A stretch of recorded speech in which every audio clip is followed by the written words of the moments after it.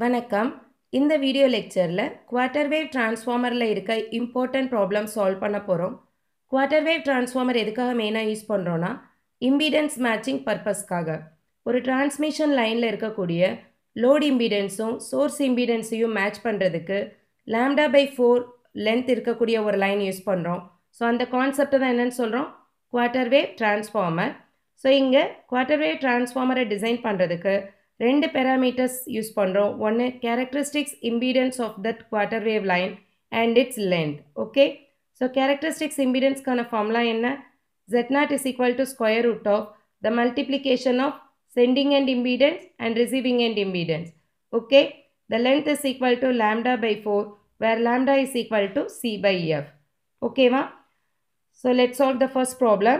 design a quarter wave transformer to match a load of 200 ohm to a source resistance of 500 ohm operating at a frequency of 200 megahertz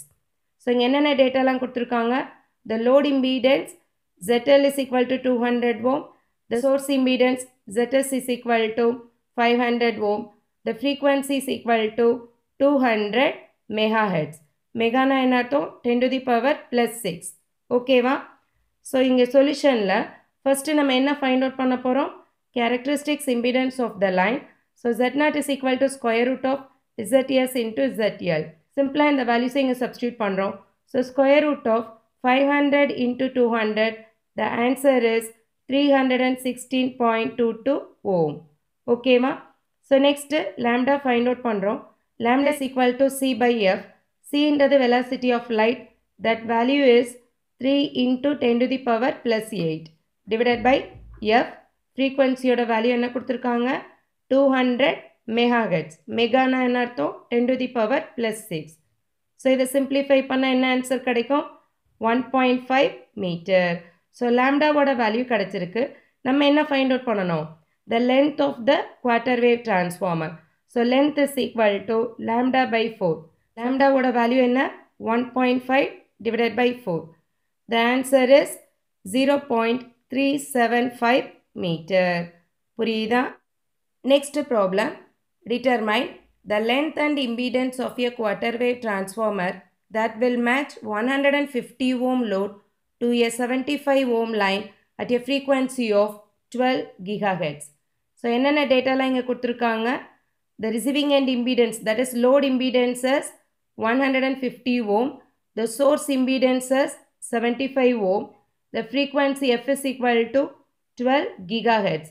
so 12 gigana என்ன அர்த்தம் 10 to the power 9 okay so சொல்யூஷனில் first என்ன find out பண்ண போகிறோம் characteristics impedance so z not is equal to square root of jet S into jet R so சிம்பிளாக அந்த வேல்யூஸை இங்கே substitute பண்ணுறோம் தென் we can get the answer S one hundred and six point one Om okay so next wave length find out பண்ணுறோம் so wave length is equal to C by F சின்றது velocity of light so three into ten to the power eight divided by எஃபோட value என்ன twelve into ten to the power nine so இதை simplify பண்ண என்ன answer கிடைக்கும் zero point zero two five metre so நம்மளுக்கு என்ன வேணும் த length of quarter way transformer so length is equal to lambda by four so zero point zero two five divided by four the answer is six point two five into ten the power minus three metre புரியுதா